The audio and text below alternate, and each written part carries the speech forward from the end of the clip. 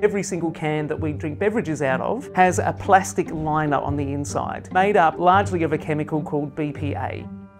My name is Andrew Pask. I'm a Professor of Biosciences at the University of Melbourne. And what we're doing today is looking at what is on the inside of aluminium cans. And what we're doing is an experiment where we use hydrochloric acid to actually dissolve the aluminium. And then we can see that all the cans, and this is true of every single can that we drink beverages out of, has a plastic liner on the inside. That plastic liner is made up largely of a chemical called BPA. One of the things I was really surprised to find out is that beer in particular seems to be able to leach the BPA chemical from that liner into the fluid itself. And so a number of different surveys have looked at the level of BPA in beer and it's actually quite high compared to other beverages that you might consume from a can. The bad thing about BPA is it's actually one of the chemicals that we call an endocrine disruptor which actually interferes with the way the hormones work in our body. We know that chemicals, especially in plastics, can really have a negative impact on male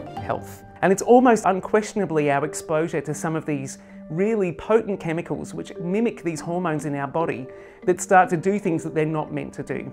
Now in Australia, we have one in six couples have to go and get assisted reproductive technologies to assist them to conceive a child. So that's an absolutely mind-boggling number of people who can no longer naturally conceive. For young men, we're seeing an increase in erectile dysfunction, as is male breast development as well. And so we're really trying to understand what it is in our environment in particular, which is causing all of these diseases to increase and causing us to have this decreased fertility. So I think it's something we have to really start to look at addressing where are the sources of these chemicals come from and what is the impact that they're having on our body.